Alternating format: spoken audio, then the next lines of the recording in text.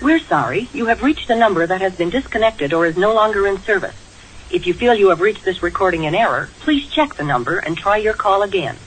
In this video, I'm going to show you how to make somebody think, make anybody think that your cell phone is disconnected, dead, out of service. To pull this off, the first thing you want to do is create a Google Voice account. Google Voice is basically an online phone service, allows you to send and receive text messages and phone calls. It's 100% free. Create an account. Once you've created your account, the next task is you want to forward all phone calls on your cell phone to your Google Voice phone number. When you come to this web page here, there's a list of GSM codes, but for most cell phones to forward all your phone calls, all you do is you dial star 21 star your Google Voice phone number followed by the pound sign. Click send. You're going to hear a beep. There'll be a message on your screen like so, this one right here, that says the call forwarding was successful. Once you have done that, at that point, all you do is you go into your Google Voice account and you simply block the phone number that you want to get that message. Any cell phone number that you block in Google Voice, when they call your cell phone, it's going to be forwarded to your Google Voice account. And if their phone number is blocked, that message that you heard at the beginning of this video is the exact message that they're going to hear. And all you have to do to block them is select the phone number you want to block block. See these three vertical dots here? Click that block number. It's that simple. If their phone number is not yet in here because you just created your Google Voice account or this person you want to block has never called your Google Voice account,